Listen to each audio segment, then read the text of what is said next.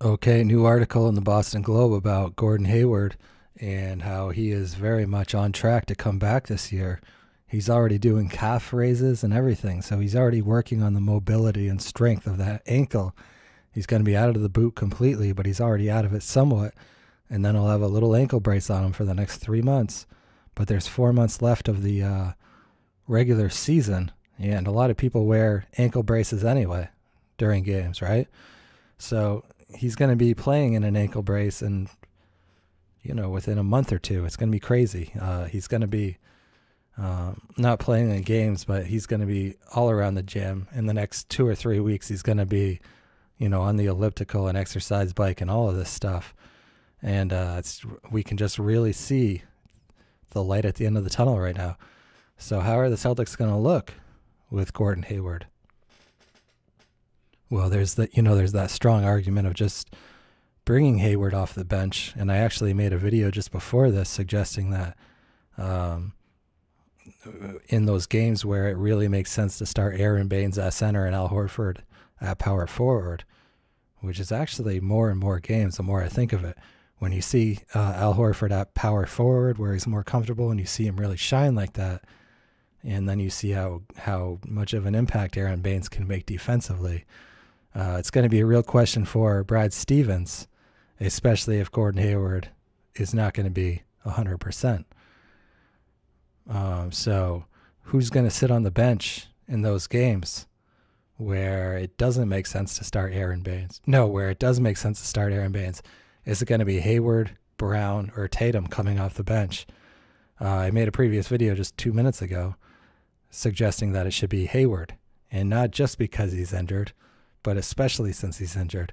So Jayson Tatum and Jaylen Brown right now this year at their very young ages are going toe to toe with Paul Pierce and Gordon Hayward at their peak prime seasons, which was last year for Gordon Hayward in his contract year at the age of 26, athletic prime, as the number one option for Utah, and Paul Pierce when he was age 30, the first year of the Big Three with Kevin Garnett and Ray Allen um, before that, Paul Pierce might have put up some good stats, but his defense was off, and uh, he wasn't. His maturity level was not there until Kevin Gar- Kevin Garnett came and really held Pierce to a higher standard as far as uh, Pierce's extracurricular activities, dietary stuff, etc., cetera, et cetera. So you can look at these stats a little bit, but um, I really hope Gordon, Jaylen Brown and Jayson Tatum have every opportunity in the world to put their stamp on the Celtics team. They're already doing it, averaging over 14 points a game. They're both shooting over 39% from three. Jaylen Brown right there with prime Gordon Hayward and prime Paul Pierce as far as his three point shooting in his second year, which is unbelievable. Nobody's even really talking about that. You know, everyone said this guy couldn't shoot coming out of college, even though he shot exactly 39% in high school from three. But because Brown and Tatum had off years shooting the three ball in college, everyone said they can't shoot. When right now, what we're seeing is they're two of the better three point shooters in the NBA, especially Jayson Tatum. So these guys have the rest of the year to keep up this consistency, and with their with their uh, distinctly superior defense to Gordon Hayward, to to keep their claim to being the starters. No matter it's Aron Baynes starting at center or Al Horford, these guys can say, no, we are the stars. We are the young stars of the future. We are the ones getting better every day. Gordon Hayward's the guy who's already at his athletic prime, who took six years in the league to get to the level where he is. These guys are already doing it, and they're flirting with teenage years. Very, very young. Um, but I think what we're ultimately going to see is we're ultimately going to see a Celtics team when Gordon Hayward comes back. You know, maybe not until the playoffs start, but hopefully uh, the last couple weeks of the regular season. But going into the playoffs, we may very well see um, a lot of Hayward, Brown, and Tatum. Right now, Gordon Hayward, he's getting a lot stronger because he can't really run around right now, but what he can do is lift weights. And in the pictures from the article where he went out to dinner to watch the Spurs Celtics game from a restaurant in Wellesley, Gordon Hayward's arms looking huge. And with that additional weight, he already came into training camp bigger than he had ever been. And if you notice, Hayward was very underwhelming in the preseason. And I think part of that is because he was playing at a heavier weight than he ever had been. But because of the way that Brown and Tatum are playing so well and so superior athletically, quickness wise, and defensively, Gordon Hayward weighing so much could actually really help the Celtics. Because the stronger he is, the more able the Celtics are going to be to play him at uh, power forward, or at least he can help and switch onto power forwards and centers with his new improved, dramatically stronger, but less athletic, less mobile, less nimble uh, physique. So that would really help Hayward and help this whole trio, help the whole Celtics team, and not have to start Aron Baynes too much. Of course, starting Al Horford as center, you know, the majority of the time, or even uh, the vast majority of the time, or even 100% of the time, that's going to hurt Al Horford personally but in some ways it'll help him, and in some ways it'll help the Celtics. The Celtics would definitely be a distinctly worse rebounding team with Hayward, Brown, and Tatum, and Irving and Al Horford in there, right? We already know that, just like we kind of saw against the Detroit Pistons in our first game, where Al Horford was trying to defend Andre Drummond, and the Celtics were getting totally schooled on the boards. So Aron Baynes, as the number one rated defender right now, he is no slouch, nobody to be slept on. And even uh, even Gordon Hayward, our thirty million dollar man, at least coming back from injury, there's going to be plenty of games where Aron Baynes makes more sense. Maybe even a majority of the games. I'm not sure. But with Gordon Hayward getting stronger, that definitely helps him be able to stay on the court with all of these guys as the starting unit. And then you just stagger the starters' minutes so that you always have Hayward or Tatum or Kyrie Irving um, along with you know hopefully one other starter like Al Horford or something playing with the second unit. So uh, a lot more offensive firepower, obviously, and bench scoring is our biggest weakness by far. But even if we stuff all these guys into the starting lineup, uh, there's still plenty of ability to stagger their minutes so that we have more offensive firepower playing with the second unit. But Jayson Tatum, he's going to be playing in the Rising Stars Challenge uh, Jaylen Brown probably is as well, no doubt. And Jayson Tatum also going to get invited to the three point contest. You can bet on that, right? Just like uh, Devin Booker, I believe, got invited last year or the year before. Uh, the NBA's leading three point shooter and a high, high profile rookie is most definitely going to get invited to the NBA three point contest. And uh, he can really put his mark on this team so that when Gordon Hayward comes back, um, he may very well be third fiddle. But luckily for J- Gordon Hayward, and n- not just third fiddle this year when he's coming back from injury, but even next year, third fiddle. But it's going to be okay because even as third fiddle among these guys, Gordon Hayward will still likely be able to start with his advanced strength now. And even next year, these guys can all start together.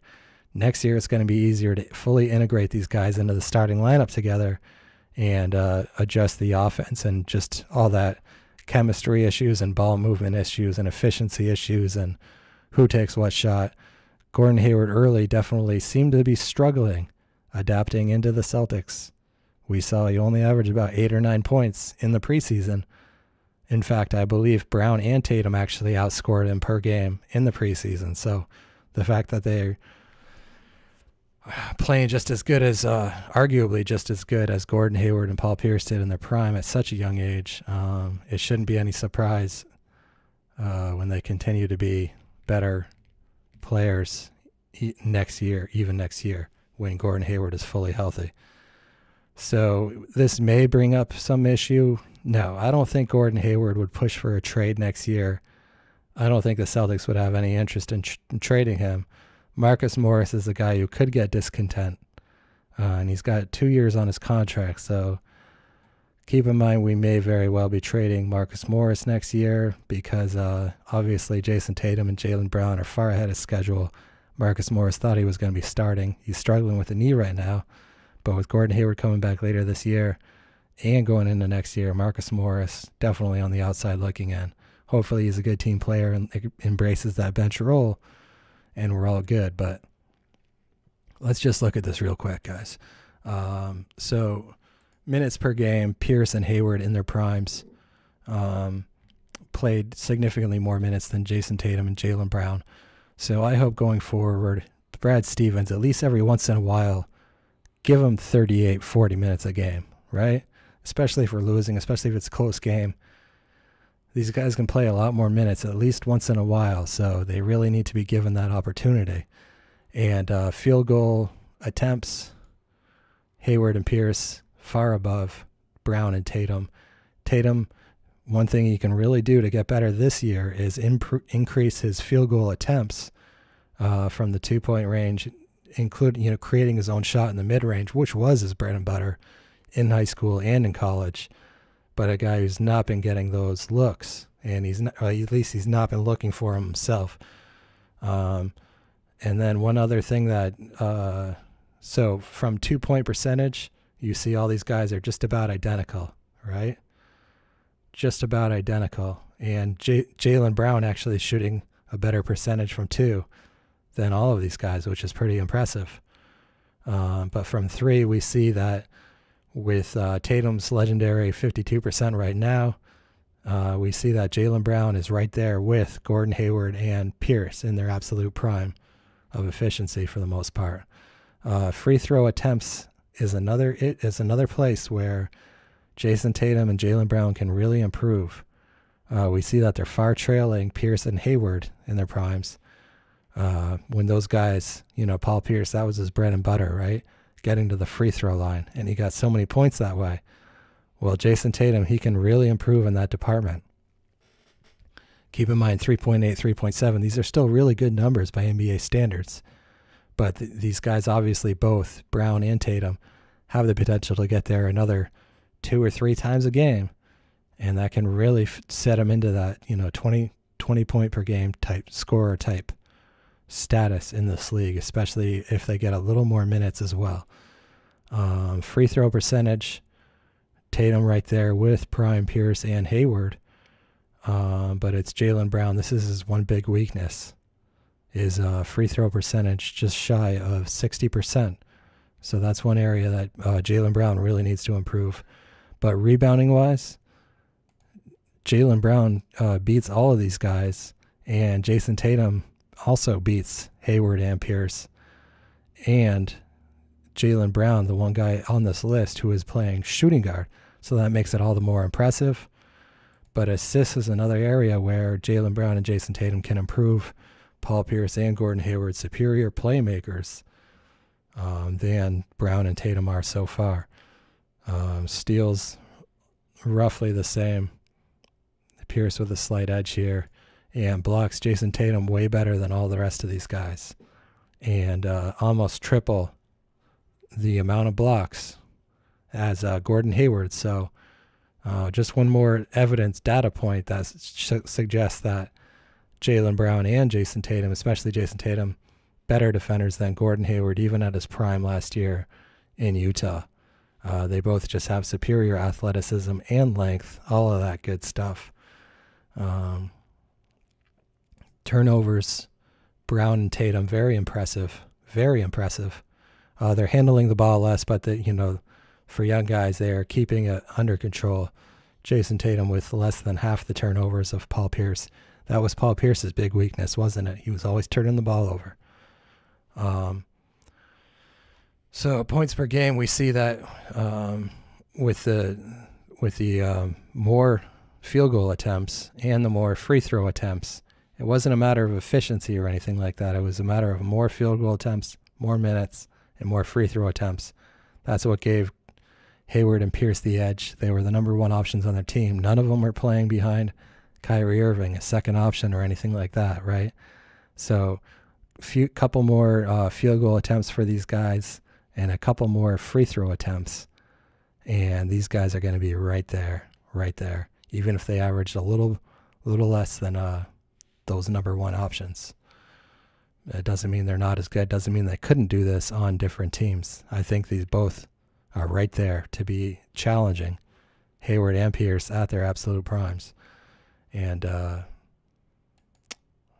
true shooting, we see that Jason Tatum head and shoulders above Pierce, Hayward, and Brown. Uh, it's incredible. And uh, Jaylen Brown, the reason he is significantly lower than Pierce and T- Hayward is because of that free throw uh, percentage, that low percentage, sub 60%. But if he gets that up a little bit, uh, he'll be right there, pretty impressive, or maybe just shy. But his two point percentage is better than these two, better than all of them. And his three point percentage is right there with Pierce and Hayward. So that's very impressive. And um, and J- Jaylen Brown actually shooting more um, three three pointers. A higher percentage of his shots are three pointers than any of these guys, and that's uh, very very impressive, especially considering Brown is also shooting just shy of forty percent. Uh, but we see this free throw rate. Um, wow, Tatum's actually really really good. He's getting he's just not taking a lot of. Uh, field goal attempts. That's what's throwing them off, or or free throws. Uh, but anyway, guys, win share per 48. Paul Pierce and Jayson Tatum. This is this is the year the Celtics won the championship, right? And Paul Pierce was their number one option at his absolute prime. Uh, Jayson Tatum win shares virtually identical. So I don't know what exactly that says, but it's something good. Okay, it's just something good. We'll leave it at that. Probably portends well for the way this season is going to go for the team and for Jayson Tatum going forward. But we are seeing big, big things from these two young guys, Tatum and Brown, although Brown's win share per 48 significantly lower as we see. Um, anyway, guys, let me know what you think. Uh, you think Tatum, Hayward, and Brown are all going to coexist well? Uh, you think this Celtics team can incorporate Gordon Hayward on the fly at the end of this regular season and going into the playoffs? Or do you think Hayward should stick strictly to the bench as a way of integrating him? And uh, and then over the summer, integrate Hayward, Brown, and Tatum all into that starting lineup with Kyrie Irving and Al Horford. Do you think that's the way they should do it? That probably makes more sense. Just bring Gordon Hayward off the bench at the end of this regular season and in the playoffs. Keep things simple because we saw that Hayward didn't necessarily integrate right away with that starting unit. And uh, we've obviously seen Brown, Tatum, Horford, and Kyrie Irving have incredible um, chemistry and on court success, uh, whether Aron Baynes starts in that last spot or Marcus Morris. So, uh, the different ways to look at it, it would be very interesting to see if the Celtics can incorporate Hayward, Brown, and Tatum on the fly this year if everyone can make it work, everyone stays looking for their shot, shoots the open shot, passes when it's open, uh, our offense could suddenly get a big surge with Gordon Hayward and his passing ability and his uh, effective and true shooting percentages. Um, but, you know, going in the playoffs, defense and rebounding wins championships is generally the rule. We are very lucky to have a guy like Aron Baynes. And in the playoffs, especially when the game slows down and defense becomes more important and those rebounds make all the difference in the world, there's going to be a huge argument for keeping Aron Baynes. And if that's the case, I really hope it's these young guys, Brown and Tatum, getting the getting the chance to keep those starting spots and to keep a injured coming back, not fully 100% Gordon Hayward uh, on the bench. But let me know what you guys think. I'll see you soon. Peace.